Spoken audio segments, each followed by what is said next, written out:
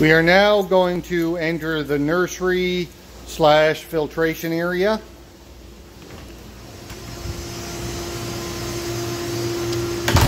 You can see that we have a number of semi-square fiberglass tanks in here as well as some uh, tank inserts that we use for first feeding of uh, salmonids.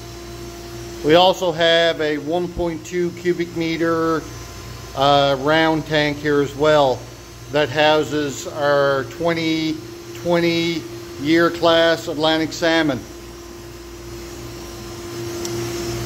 These tanks are plumbed and set up in a similar manner to what the recirculation tanks are.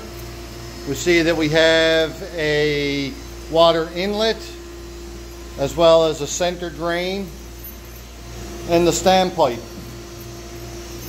The water source for these tanks uh, is our artesian well and it flows via gravity from our upstairs header tank.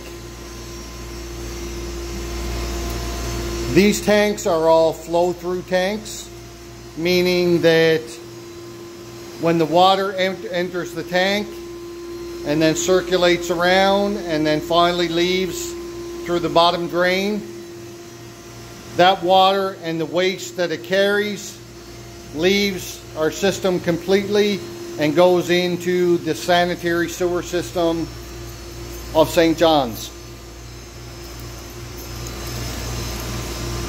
You'll notice that there are no uh, water treatment equipment present, uh, either for uh, incoming water treatment or for treatment of the effluent.